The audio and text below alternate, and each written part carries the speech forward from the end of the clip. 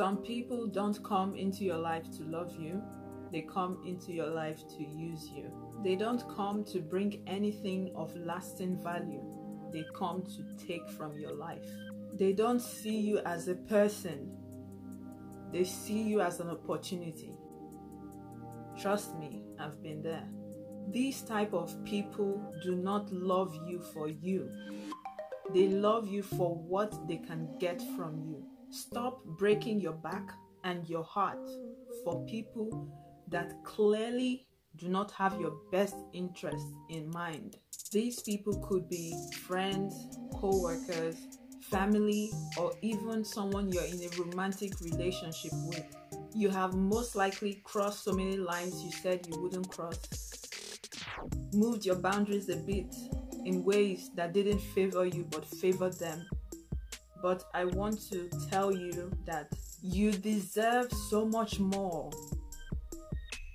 You have to be strong enough to put your feet down and say, This ends now. I know it can be hard to come to the realization that some people you've been bending over backwards, making all sorts of compromises for, would not do the same for you if the tables were turned in a heartbeat.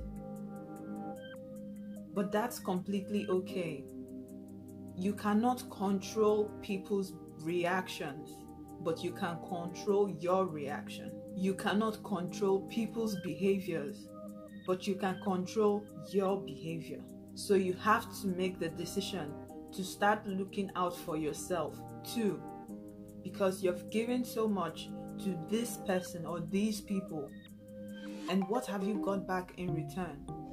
Looking out for yourself doesn't make you a selfish person. On the contrary, it shows that you are self aware and you know your worth. You cannot let people use their dirty feet to keep walking in your mind. Just because someone is in your life, that in no way implies they want the best for your life. Pay attention to their actions. Try to get around people who want to see you win and not those that are trying to sabotage your destiny. Get around people who encourage you to uphold your standards and not those that just want to see you compromise them.